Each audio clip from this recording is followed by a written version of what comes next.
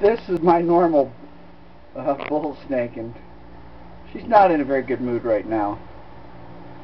She just ate, but she's just been kind of really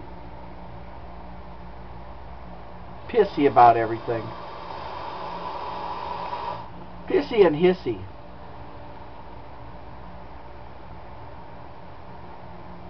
She just downed about eight mice.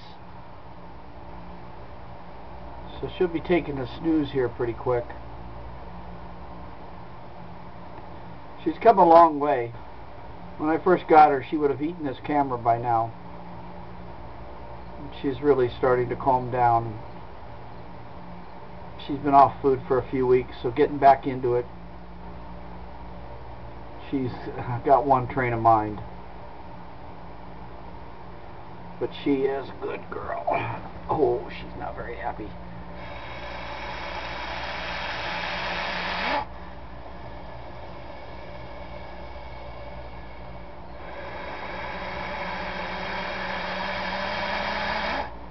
Well, I think I will heed her advice and uh, let her get in her hide and go to sleep.